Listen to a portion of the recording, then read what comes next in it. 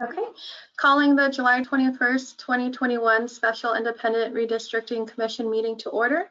We'll start with the Pledge of Allegiance. I pledge allegiance to the flag. I'll join the United States of America. of America to the and to republic the republic To which it stands, for which it one stands, nation, under God, indivisible, indivisible, with liberty and justice for all. Thank you, and I will perform the roll call. Honorable Elizabeth Allen White, Present.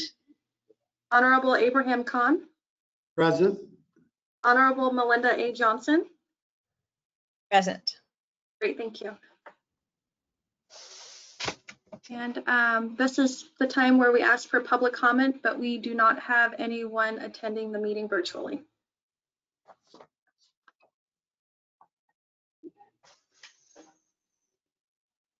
We'll move to um, the item on the agenda, introduction of city staff assisting with redistricting process, and I'll hand it off to Michelle. Thank you.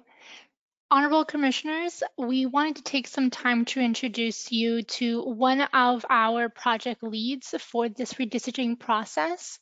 Unfortunately, many of the city staff members who have joined this process were not able to attend. However, we do want to let you know that we have such a great group. They're all very excited to be a part of this.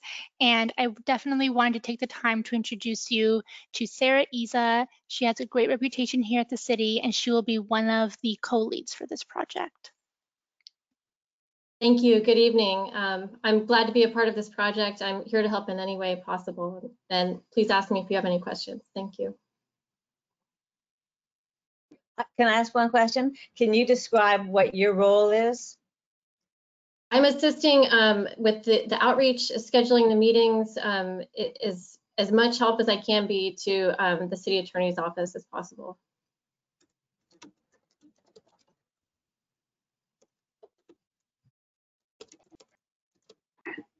Thank you.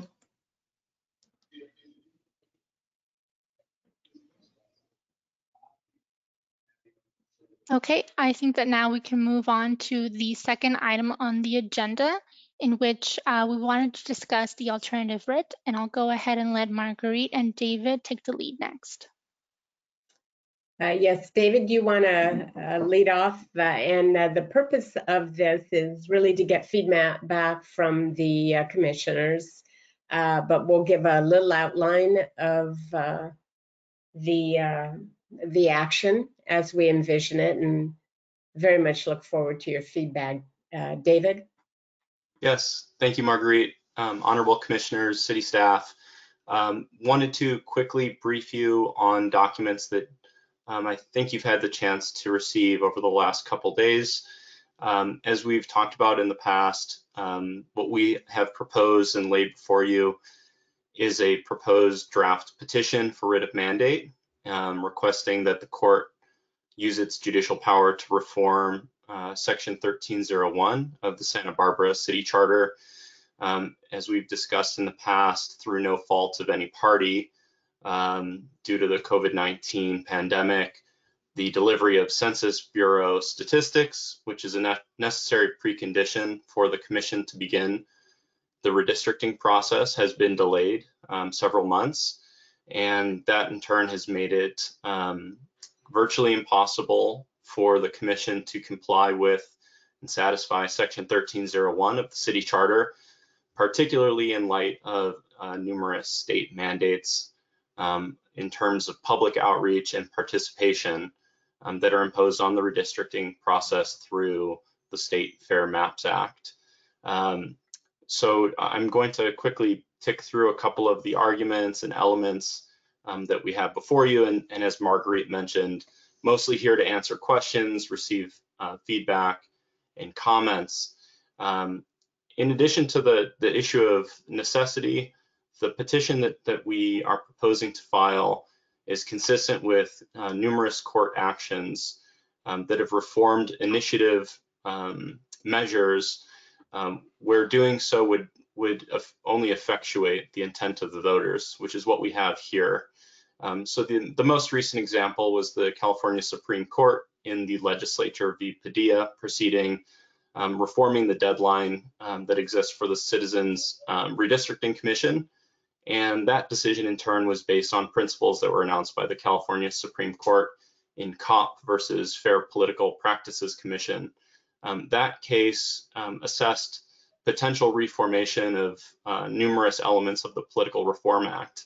And the court announced in that decision that the guiding principle for courts is that they may reform a statute in a manner that closely effectuates policy judgments clearly articulated by the enacting body, here the people of um, the city of Santa Barbara, and two, the enacting body, again, the people, would have preferred such a reform version of the statute to invalidation of the statute.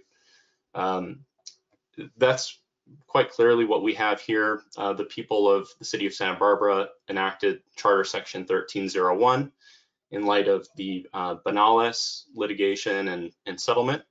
Um, and they uh, empowered an independent redistricting commission to take over uh, key elements um, of the redistricting process. Um, the alternatives to the commission proceeding under a reform deadline um, would clearly depart from the intent of the voters.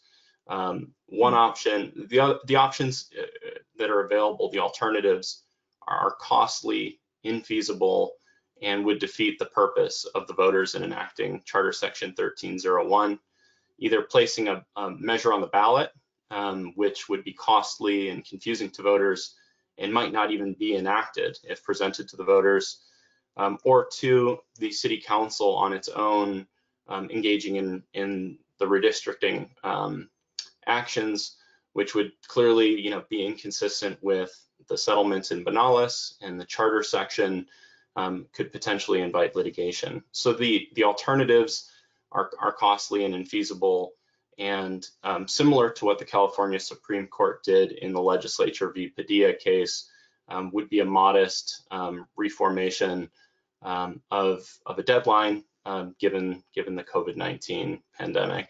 Um, I'll also quickly note that the extension that's sought in the petition would not disrupt future elections.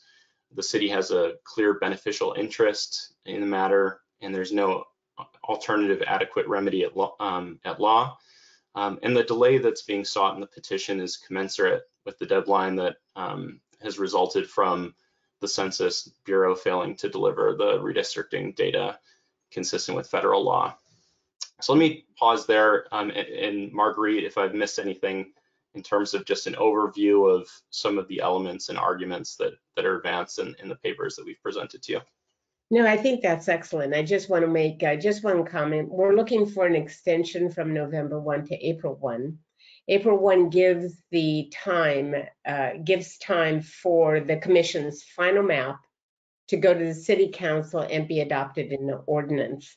That's a good 17 days there at the beginning of April. And that puts us right on target with the statutory deadline for other charter cities. So we're not looking for anything exceptional. Uh, November 1 made a lot of sense at the time the voters enacted it. It's become infeasible uh, because of the census delay. So the date we're looking for is April 1, and that gives the city council time to do its duty. It has charter-based duties with regard to the commission plan, and that's why we selected that date. And as David pointed out, the extension is commensurate, commensurate roughly, a few days off here and there with the census delay, but it puts us on the same calendar as other charter cities. David, go ahead. Sure. Uh, honorable commissioners, just a couple of other points to bring your attention to. Um, at the last meeting that where we joined you, there was some discussion of um, the procedural options that we have in front of us. Um, as we discussed then, um, there are two main procedural options proceeding through alternative writ and uh, by ex parte application or through a noticed hearing process.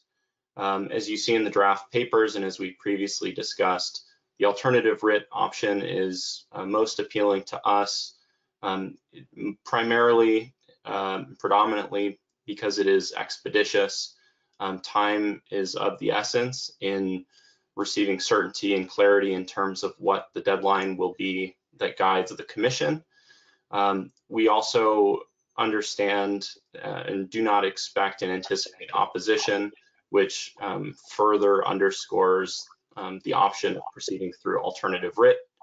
Um, and so some of the papers that um, that we have circulated um, explain and support that procedural footing, including um, the ex parte application and the declaration um, stating the notice that's provided ahead of the ex parte um, um, appearance, as well as the proposed alternative writ.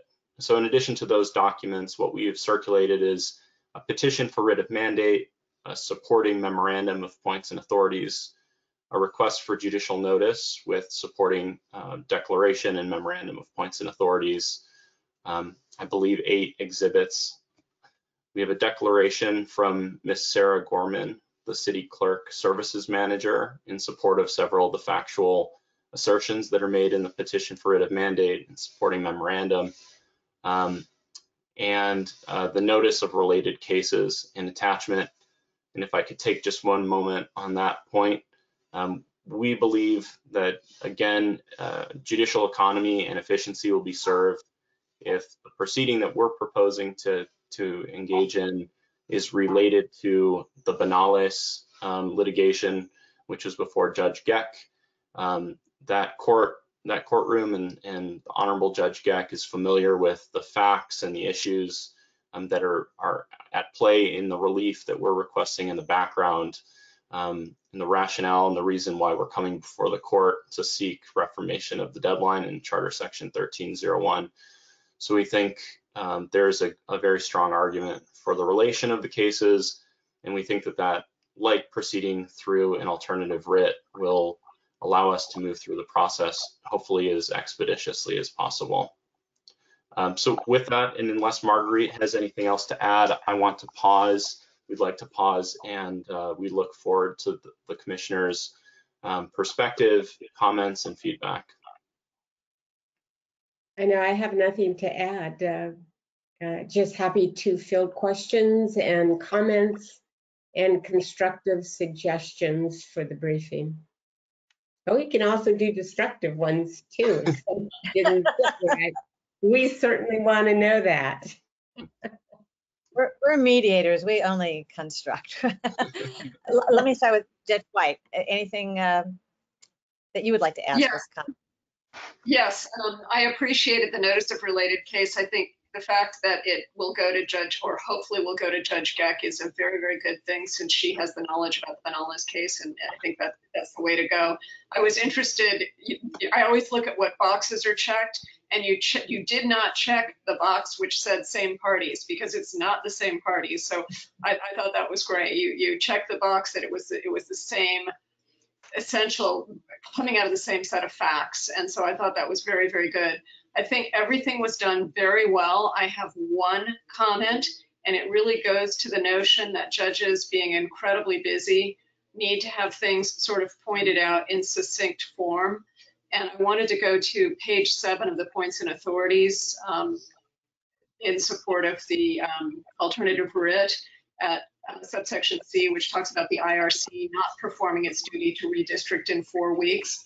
I think it would be really helpful to the judge to lay out, maybe even in bullet points, because there's various times, uh, time requirements that are mentioned. So you've got you've got um, five days to notice a public hearing, and you would have two public hearings. You have at least seven days um, to publish the final map. And I thought it would be great if we could just, for example, take the month of October and just show exactly bullet point by bullet point how you can't compress that into October 1 to November 1 and how putting the deadline in April allows us to go through all of those steps that are required and not miss a deadline or compress things in such a way where you're not giving adequate notice, which would be um, absolutely terrible. So that was my only suggestion. Other than that, I think it's brilliantly done. Uh, you have no opposition, so I don't think anybody's going to be critiquing it. I'm just thinking about the judge who's, who really wants to understand how you've got that 30-day time frame, and it really needs to be expanded to allow for the things that have to be done under the statutory requirements. Uh, Commissioner uh, um, White, I, I, I, I agree with that wholeheartedly. That's the heart of the issue. And I like the idea of the schematic and, and we will incorporate that. That's it's just an excellent suggestion. Judge Kahn. I thought it was all incredibly well done, well documented, well substantiated and- and explained. And, you know, of course, I would defer to my, my colleague, Judge White. She always has brilliant recommendations to make. I have nothing further to add. I, you know, I, I was also very impressed and I uh, found myself, of course, reading the materials as if I were a judge, which I thought was probably the best way to do it as the commissioner here, to see what questions I would have. And there was one thing that I kept getting hung up on where it's, the comment is made several times and it's been made today that this aligns us with the April 17th, 2021 deadline imposed from most other charter California cities. And I, I guess that that means that that gives us about six and a half months to, to get this in. But April 17, 2021, I have to assume is a date this year that didn't really have any meaning for anybody, for anything, since no one had any census data. It's just a little confusing that that keeps getting referenced and I'm not, I don't know if Um, the comparison's made clear. Judge Johnson, we may have a typo in the brief. It should be April 17, 2022. Well, thank goodness, because that's what I thought all along, but it says Oh my 21 all the way along. Yeah. Yeah. You know what? kept thinking, who's going to do anything on that date? Judge Johnson, thank you for that comment. We will word search this and make sure it's 2022. It's That several is- times there. Yeah, I, uh, apologies that you had to be stymied by that. It is the type of typo that um, a close read, sometimes when you're too close to the papers, you just read over it. And we will word search it and correct that. It's let me just say that 2022. Our last year's Christmas letter misnamed one of our daughters-in-law. After we read it 16 times a piece and clarified it, we got her first name wrong and they've been married 10 years. So it's not, you know, like it's a surprise. So you, your eyes see what it expects to see, right? Oh, yeah, Uh, yeah, yeah. Thank you very much for the comment. All right. Yeah, and i- incidentally, uh, Marguerite, we had an ordinance last night that had at least eight sets of eyes on it, and it did the exact same thing. It said January 2, 2021. Oh. We caught it though, a- as the panel did. Thank you. Yeah, but David and I are trying to show off to the commission and we kind of stubbed our toe there, so. You, you can never sink lower than I sunk last December, so don't worry about it. You, you've met the standard of care. Any other comments or questions uh, by the commission? The- uh, Actually, the only other question I had was uh, anticipated filing date. When are you thinking that this will be happening? Well, with the permission of the city attorneys uh, and their final review, they're the lead attorneys on the case, we would, we would hope next week. Oh, Good. Uh, Ariel, yeah, okay. Yeah, that, I'm, I'm fine. I will want Tom Shapiro to be along. uh, And, you know, when we go into chambers and all that good stuff. But, uh, yeah, next week would be wonderful. And Okay. I do want to make sure that, um, I, I'd like to give Judge Ochoa an opportunity to Yeah. appear as well. Yes, absolutely. I think that's wise. I think that's all. Wonderful work. Thank you. We are impressed. Welcome. So I think nothing else on our agenda for today, correct? Correct. And we're scheduled again for next, next Wednesday, the Yeah, 28th, hopefully- regularly scheduled meeting. Know, Right, and, and my, my uh, recollection as assisted uh, by Michelle's briefing this afternoon is that we want to have a, the draft of our civic engagement plan. It may be somewhat skeletal, as uh, Michelle announced, we've uh, reformed and added uh, a number of staff who are really doing work that our office can't do. So the outline may be somewhat skeletal, but uh, my recollection, and I would like to confirm with you, is that uh, don't miss the obvious, which is let's start getting some dates calendared because we're looking at a number of hearings. The other teaser for next week is I believe uh, Ms. Sosa Costa has uh, found that other cities are having as many hearings as they have districts. So we may be looking at half a dozen rather than uh, four or so. Right, that's correct. What I've noticed is that a majority of cities will actually have one hearing per district. And when you think of uh, public outreach or participation, it makes sense. And I think that that would be advisable here. Are those cities of comparable size and geograph, both geography wise and population wise?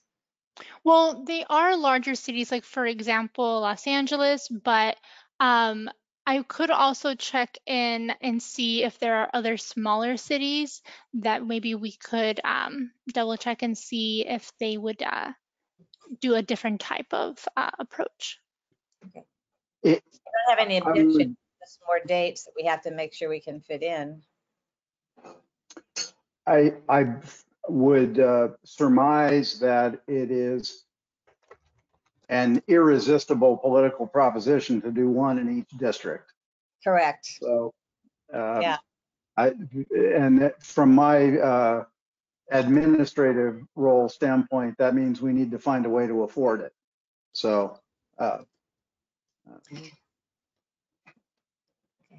And presumably people could attend any such hearing, but it would be most convenient for each district. If I may. um, Yes, I attended a, in a webinar yesterday, um, and the city of Pasadena presented at their comparable size to Santa Barbara. Um, and I believe they did have, um, one meeting per district. Okay, thanks. You're welcome.